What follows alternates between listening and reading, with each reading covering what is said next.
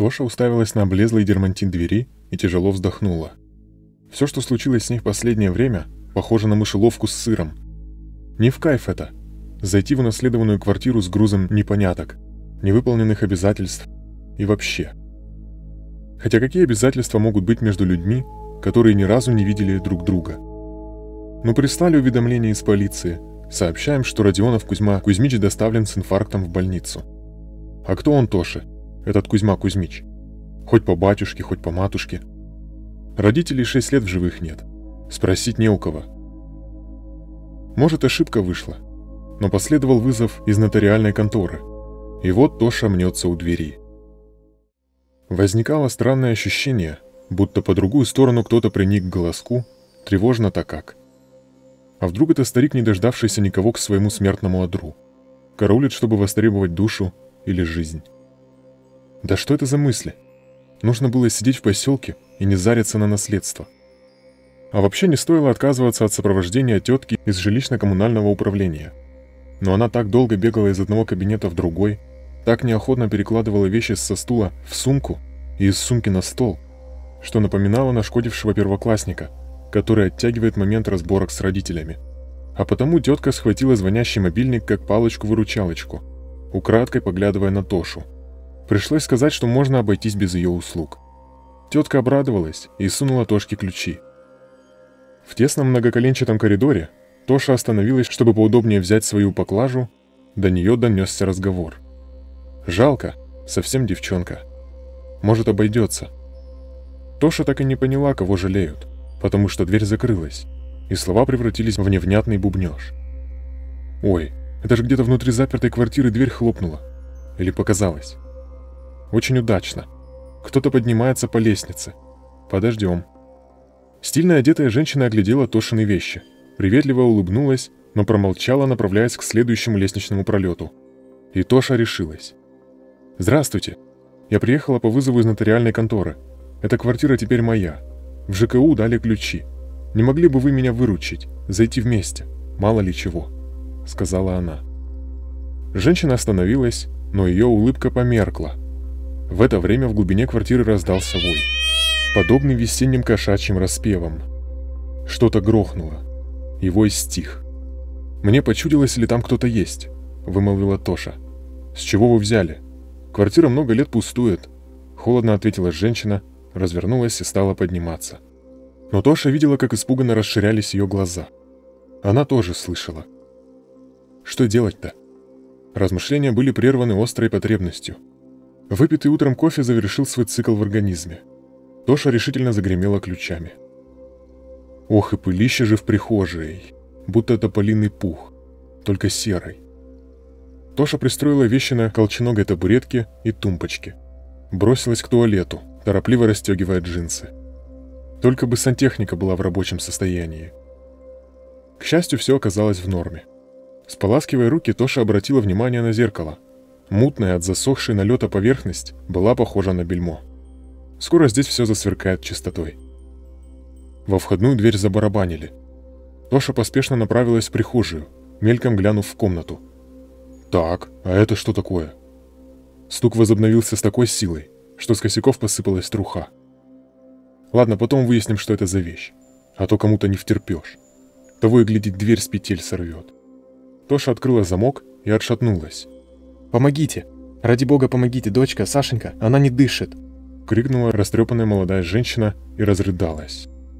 «Простите, я только заселяюсь и не в курсе, есть ли здесь телефон», растерянно забормотала Тоша. Опомнилась и зашарила в сумках в поиске мобильника, пытаясь хоть как-то успокоить обезумевшую соседку. «Сейчас наберу экстренный вызов». Но женщина с силой схватила ее за руки и потянула. «Помогите, ну пожалуйста!» Тоша против воли шагнула за ней к распахнутой настежь двери в квартиру напротив. «Умоляю вас, моя малышка!» Сначала захрипела, синенькая сделалась вся, холодная, потом глазки закатились. «Деточка моя!» Женщина взвыла и протащила Тошу через лестничную площадку и заставленную вещами прихожую. В комнате на низком диване лежала девочка. Голова запрокинута, черничного цвета рот открыт, словно в крике. На шее темные пятна и засохшие царапины – Тоша встала как вкопанная. «Так, нужна не скорая, А полиция? Надо же, дочка дышать перестала. Кто-то поспособствовал этому. Не мамаша ли? И она может быть опасной. Только сейчас Тоша поняла, что не чувствует цепкой хватки рук женщины. Куда она делась? Тоша настороженно оглянулась. Соседка исчезла, оставив ее одну возле мертвого ребенка. Вот влипла так влипла. Татьяна Ивановна.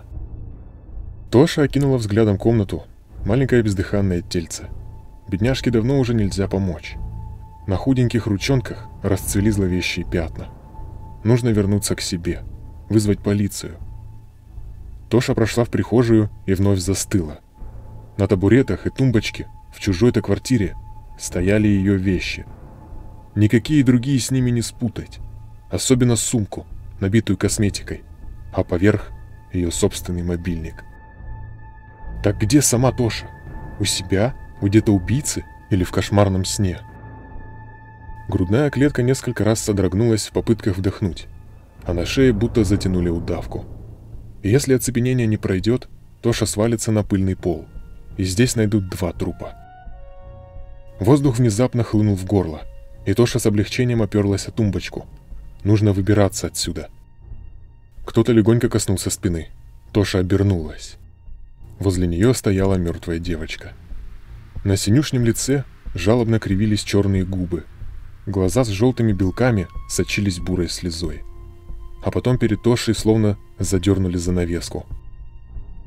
Когда она очнулась, прихожая была заполнена мглистыми сумерками. Тоша встала.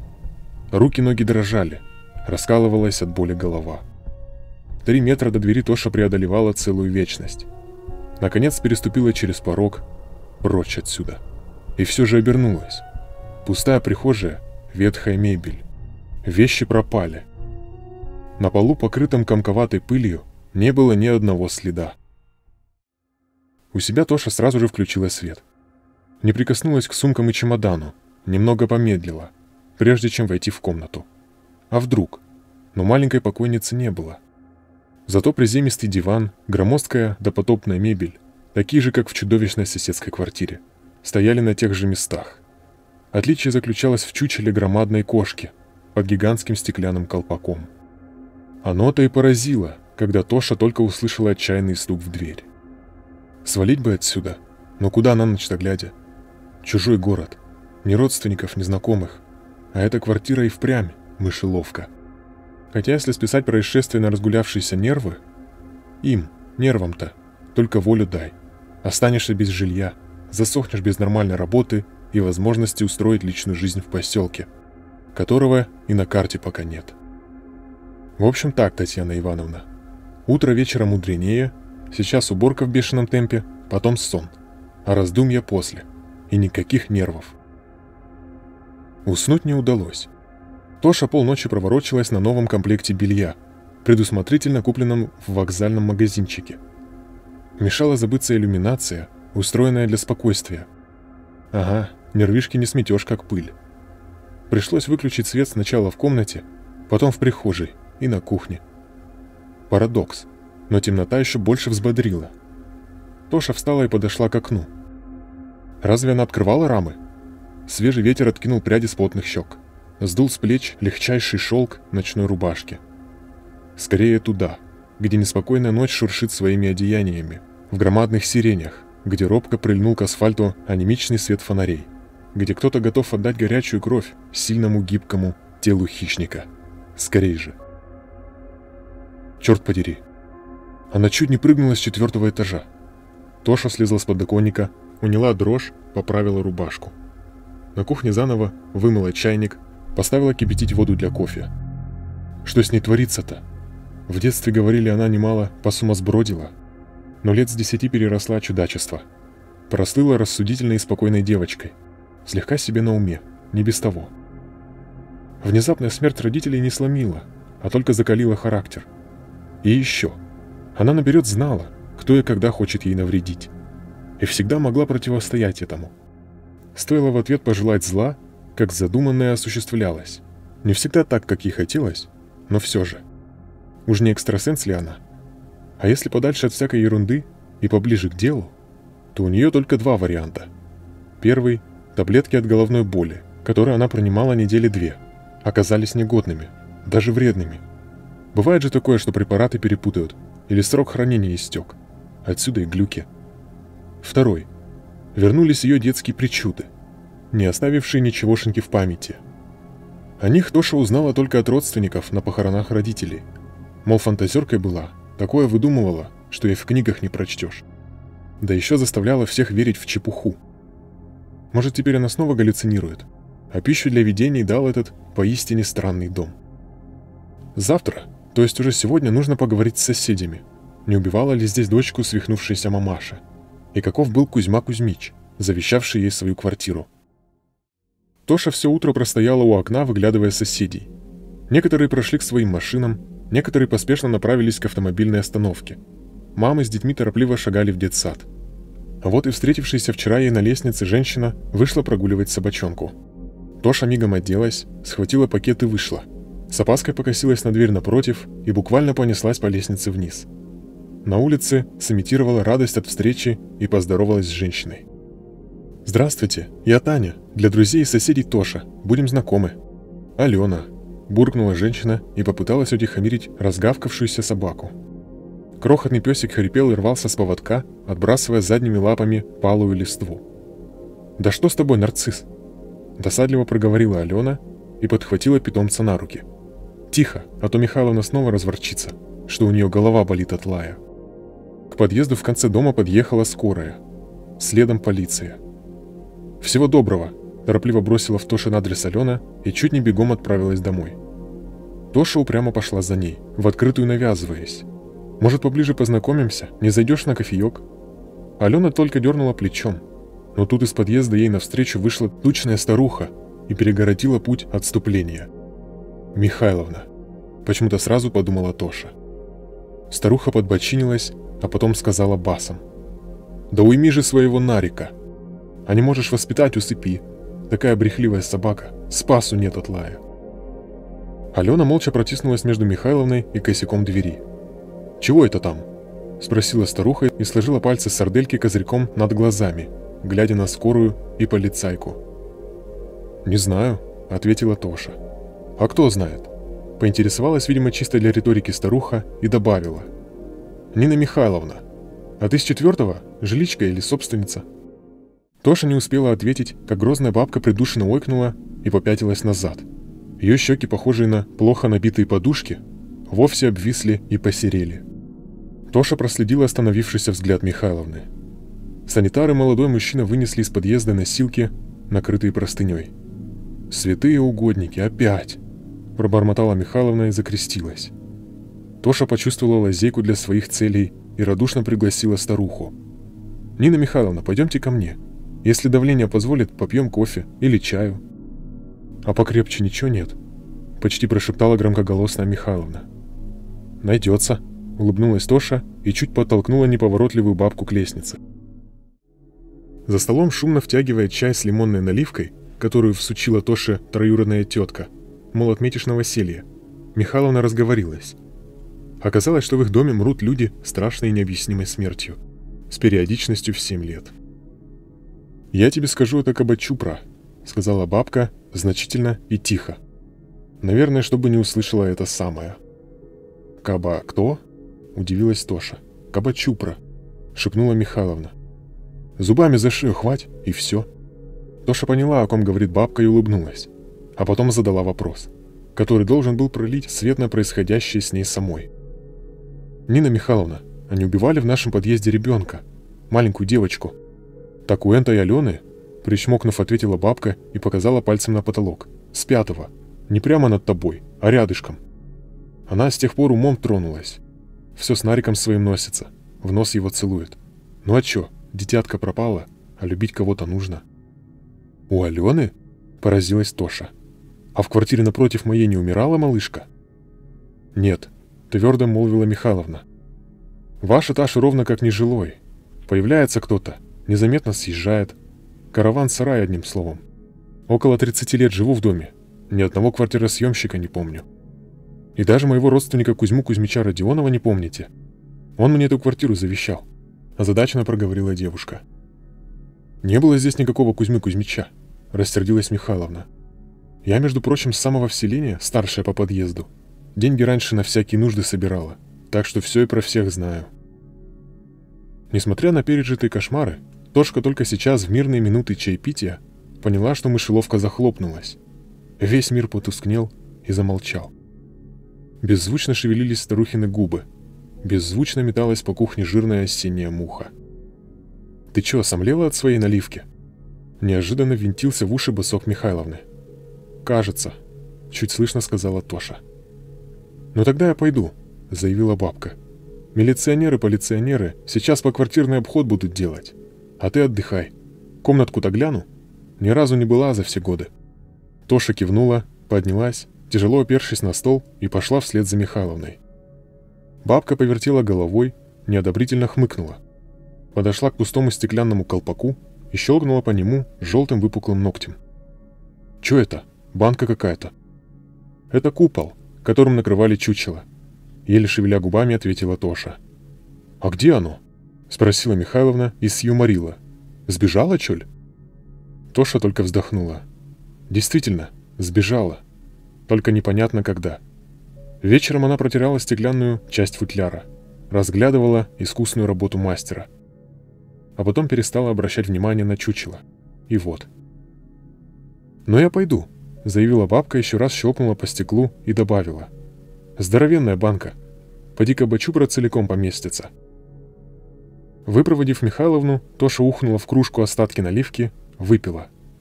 «Нет, так нельзя, иначе с ума сойдешь. Пропажу, набитой опилками шкуры, снова спишем на глюке. Ну, привиделась ей. Как и вчерашняя гостья с мертвой дочкой». Алена, у которой действительно погиб ребенок, живет вовсе не напротив. От забористой наливки стала кружиться голова. Исчезла скованность. А что если нанести визит в злополучную квартиру? Эх, была не была. Тоша прихватила ключи и решительно вышла на лестничную площадку. Позвонила, постучала, легонько толкнула дверь. Она поддалась. Тоша глубоко вздохнула и вошла. Кузьма Кузьмич стоял посреди комнаты и, медленно поворачиваясь, осматривал каждый угол мебели, каждую складку портьер, каждую тень. Тварь скоро будет здесь. Он это чувствует. Тяжелый ломик, взятый когда-то из коморки дворника, дрожал в руке. Стар Кузьмич. Сверх сотни еще десяток набежал. Три войны за плечами. А взглянуть в глаза своей погибели придется именно сейчас. Пять раз раненый на фронте. Знал, выживет. И когда его полуторка уходила под лед, был уверен, что выберется. Два инфаркта не свалили. И вот. Входную дверь заскребли когти. Кузьмич приложил руку к груди. Сердце нехорошо затрепыхалось. Нет, он не выдержит. Нужно как-то отсрочить последний бой. Смысла в этом, конечно, нет. Но он не готов. В коридоре раздался звук. Будто что-то мягкое упало с высоты. Кузьмич, собрав все силы, рванулся и бросил в коридор ломик. Взвыла темнота. Ну все, теперь тварь затаится на какое-то время. Сколько их было, этих передышек в изматывающей охоте. Цена каждой — чья-то жизнь. Не раз приходила мысль подставить свое горло жаркой клыкастой пасти. Или петля, или распахнутое окно. Но что будет после, когда умрет последний охотник? Не по своей воле он им стал. А вот насчет твари не уверен. Не по его ли пособничеству явилась в мир эта гадина? Теперь можно сесть в кресло, отдохнуть, побыть просто Кузьмичом. Все началось сразу после войны, когда ему, фронтовику, выдали отдельную квартиру. В соседней коммуналке было столько жильцов, что даже по лицам не запомнишь. Он сразу сдружился с семьей Игоря Русакова, инженера их автопарка, который с женой и дочкой Танечкой ютился на восьми квадратах – Поэтому двери Кузьмичевой однушки были всегда открыты для приятеля и трехлетней непоседы. Вечера, когда он с Игорем слушал трофейный приемник, а Танечка на половике строила что-то из кубиков, заменили семейную жизнь, оборванную взрывами с 41-го. Иногда Игорь, услышав шум и крики из-за смежной стены, потирал лицо руками и говорил «Ад». Кузьмич строго возражал «Ты ада не видел.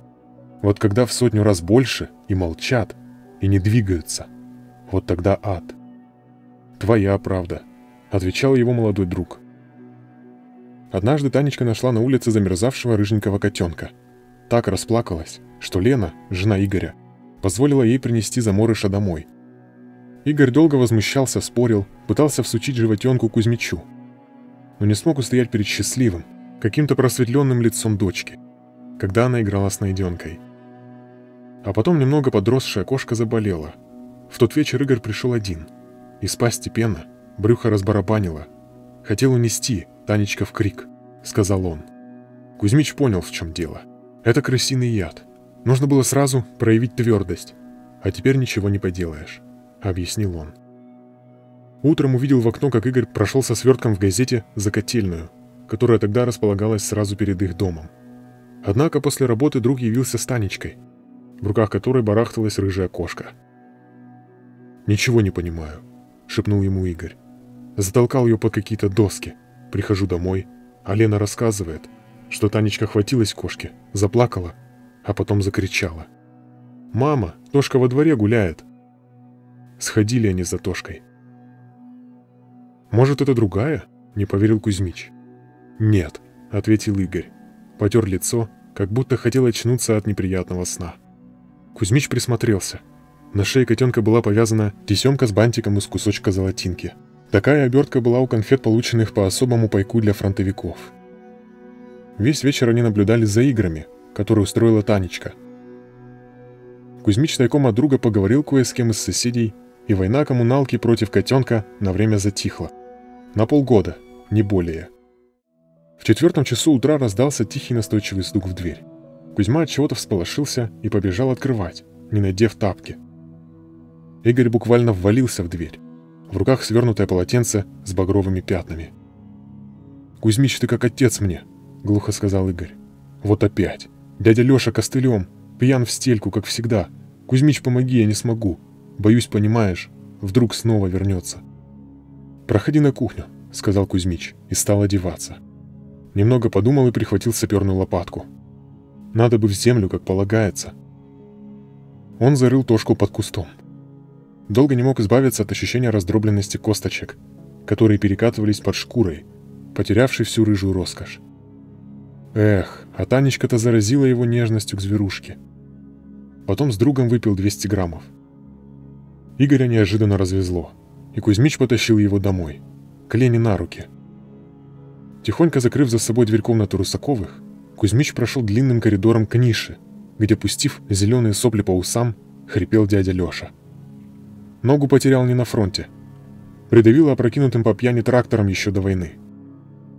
Мразь, до своей комнаты не смог добраться. Кузьмич тряхнул его за грудки, прерывистым от ярости шепотом спросил. «Тебе, сволочь, воевать больше не с кем. Зачем кошку пришиб?»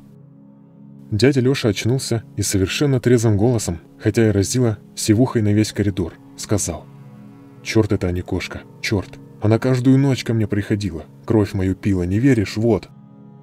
Инвалид хотел расстегнуть разномастные пуговицы на рубашке, но пальцы не послушались. Тогда он рванул ворот так, что пуговицы горохом затрещали по полу. На его шее, ключицах, багровели ранки – Вся грудь была в засохших и свежих царапинах. Явится из темноты, шаркнет когтями, аль куснет и лижет кровь. Кривя губы выговаривал дядя Леша и затрясся от слез. Кузьмич даже задохнулся от возмущения, громче, чем следовало, крикнул. Допился до кошачьих чертей, пьянь чокнутая. Кошка кровь лакает, а ты лежишь и смотришь, да? Потянула сквозняком. Кузьмич хотел было сказать, за Танечкино горе дяде Лёше еще придется ответить. Но краем глаза заметил, что входная дверь приоткрылась. Глянул и почувствовал, что пол уходит из-под ног. В коридор медленно вошла Тошка. Это была именно она. Рыжая шкура в крови из земли. Кошка уселась и стала вылизываться, глядя на Кузьмича и захрипевшего дядю Лёшу. Кузьмич осторожно обошел Тошку и бросился вон. Под вечер этого дня он узнал, что инвалида нашли мертвым в коридоре. Допился. Игорь у друга больше не появлялся, а при встрече в автопарке сообщил, что уходит из семьи. Тихая и кроткая Лена превратилась в фурию, когда услышала ультиматум. Или он, или кошка. Кузьмич только руками развел, и это было первой ошибкой. Вторую он совершил, когда не сумел увязать череду странных смертей в коммуналке с кошкой. Скандальная молодуха, мать двоих детей, покончила жизнь самоубийством, когда задохнулся во сне последний из ее малышей. Она полоснула по своему горлу кухонным ножом. Все лицо и руки несчастной были покрыты царапинами. Одна из крикливых старух внезапно сошла с ума и обварила себя водой из бака, в которой кипятилось белье. А вот Тошка оказалась стойкой. Никто не сумел ее извести. Квартира стала считаться погибельной. Дурная слава. Точно неприятный запах поползла по городу. Кузьмич как мог опекал и защищал семью, давно уволившегося инженера. Потом была третья ошибка, самая страшная. Танечка выросла в 15-летнюю красавицу, а по поведению осталась той же малышкой, с нежной привязанностью к своей кошке. Лена еле уговорила дочку поехать в летний лагерь. Через несколько дней Тошка исчезла. А смерть вышла из пределов квартиры. Один за другим погибли трое жильцов дома. Кузьмич с Леной съездили к Танечке и, как ожидалось, обнаружили кошку у хозяйки. Привезли взбешенное животное домой. Кузьмич отправился в командировку, а когда вернулся, узнала только что случившейся трагедии. Лена вместе с кошкой бросилась под самосвал. На похороны явился Игорь. Настоял, чтобы дочки не сообщали о смерти матери до конца летнего сезона. Кузьмич счел, что Танечке не пережить сразу две потери и заказал чучело. Безжалостно задавил домыслы и суеверия. Рассудил так. Вся злоба, которая обрушилась на кошку, обернулась против самих людей. Дикие нравы коммуналки и не только по отношению к животному вызвали нечто такое, что противно самой жизни. А Танечку он не оставит. Поможет закончить образование в другом городе, где жили родственники Игоря. Отпишет ей квартирку, к удивлению, она недолго горевала, а на прощание оставила чучело своей любимице. Выучилась, вышла замуж, родила сына, стала счастливой бабушкой и тихо покинула этот мир, как случилось со всеми знакомыми Кузьмича.